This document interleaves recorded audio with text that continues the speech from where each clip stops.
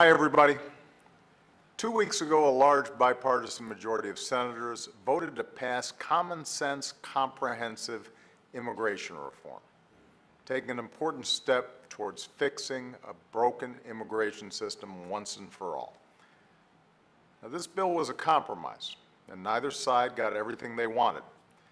But it was largely consistent with the key principles of common sense reform that most of us in both parties have repeatedly laid out.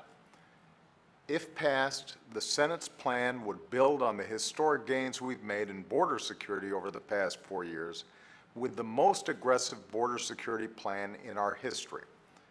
It would offer a pathway to earn citizenship for the 11 million people who are in this country illegally, a pathway that includes paying penalties, learning English, and going to the end of the line behind everyone trying to come here legally.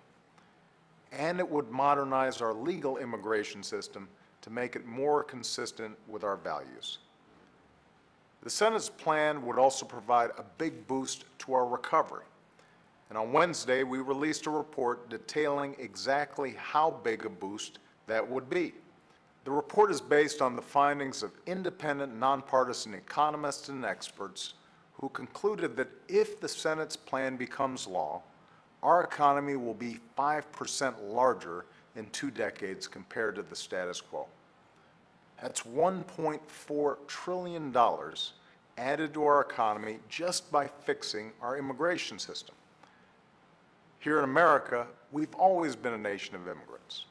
That's what's kept our workforce dynamic, our businesses on the cutting edge, and our economy the strongest in the world. But under the current system, too many smart, hardworking immigrants are prevented from contributing to that success.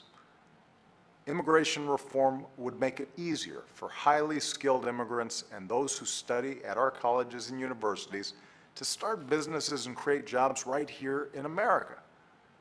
Foreign companies would be more likely to invest here the demand for goods and services would go up, creating more jobs for American workers.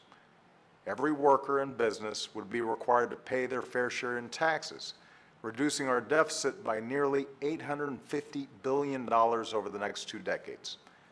And since a large portion of those taxes go towards retirement programs that millions of Americans depend on, Social Security would actually get stronger over the long term adding two years to the life of the program's trust fund.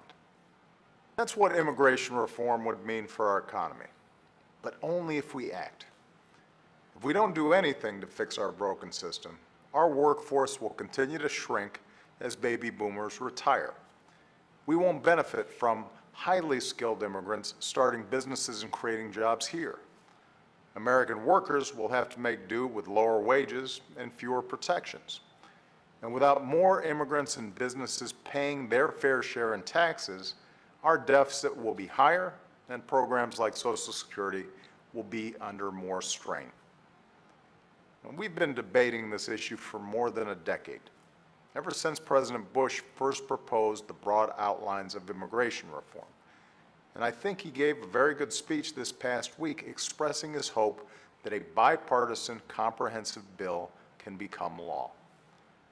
If Democrats and Republicans, including President Bush and I, can agree on something, that's a pretty good place to start.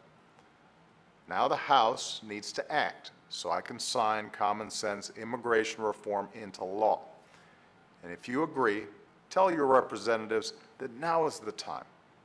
Call or email or post on their Facebook walls and ask them to get this done because together we can grow our economy and keep America strong for years to come. Thanks, and have a great weekend.